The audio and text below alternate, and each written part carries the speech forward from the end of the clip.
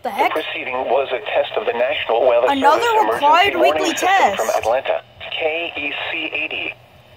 This test is conducted at approximately 11:30 each Wednesday morning, weather permitting.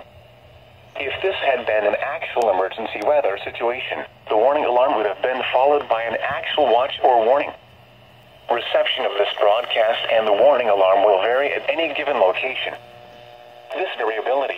More noticeable at greater distances from the transmitter, will occur even if you are using a quality receiver in perfect working order.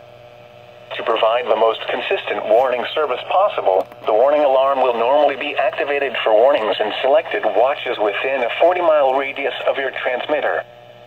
This area includes the following counties in the Atlanta listening area Cherokee, Clayton, Cobb, DeKalb, Douglas, Fayette, Forsyth, Fulton, Gwinnett, Henry, Newton, Rockdale, and Walton. This concludes the weekly test of the warning alarm system. We now return to our normal weather broadcasting.